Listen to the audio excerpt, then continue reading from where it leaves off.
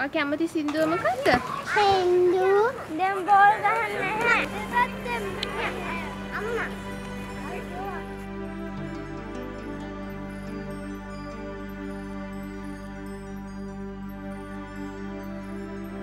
It is estimated that 10 to 20% of all children in Sri Lanka have some form of disability, which are often not even detected.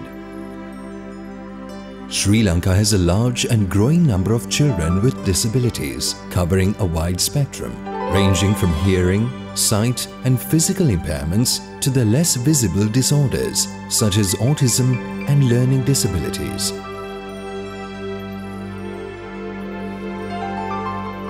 Often these children and their families are shunned by our society. Myths and negative stereotyping at times result in these children being denied the proper help and support they need. It is the right of every child to have access to healthcare, education and social participation. However, there is a lack of awareness and access to professional services in our country. Often desperate parents go from place to place seeking help for their children.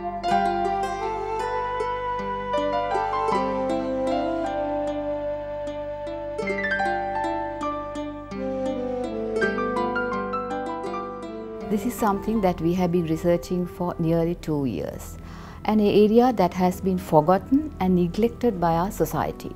For the past 15 years, I had the opportunity of working with the HEMAS Piyawara preschools across the country and met thousands of children with disabilities and of course their parents. I must say they suffer in silence and these parents need their children to be inclusive in our communities and to be contributing members of our society.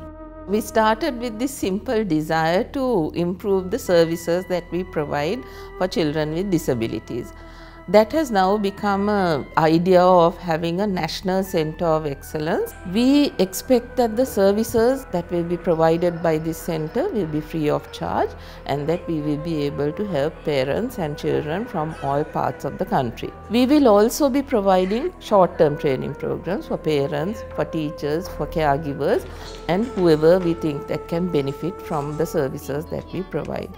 We'll also be conducting research to make sure that what we are doing is the best possible that we can provide for uh, these children. An important function that the center will provide is advocacy, raising awareness and changing mindsets among the public, particularly to dispel the negative stereotyping that often goes hand in hand with people's perceptions of children with disabilities.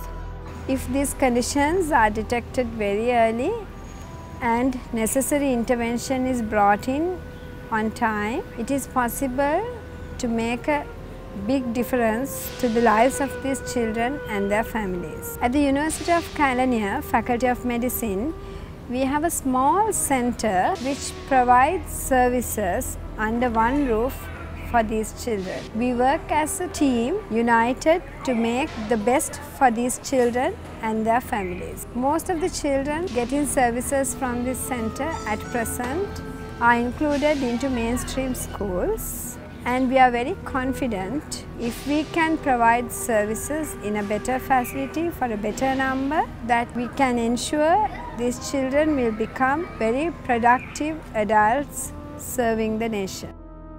You might ask me, why am I getting involved in yet another cause? And the answer is simple. These children are the children of parents just like me and my wife Yahali. They could be our son, our daughter, your niece or nephew, or someone's grandchild. They are children who bring so much joy and add color to the world.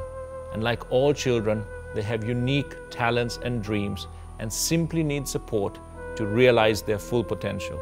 Giving these kids an equal opportunity is very important. It has been told that early detection could help these kids overcome the problems and also the center would cater to a lot of different needs to keep their mind in the right track and also to show that they are not all by themselves, there are others who are there to support them. It's our responsibility as responsible citizens of our country to come forward to support this worthy cause and I request everyone to come and support the Ayati Foundation. That is exactly what we hope to do with the Ayati Center of Excellence. It is not about an empty shell of a building. It is not about bricks or mortar. It is about giving our children the strength and support to believe in themselves and to achieve their dreams.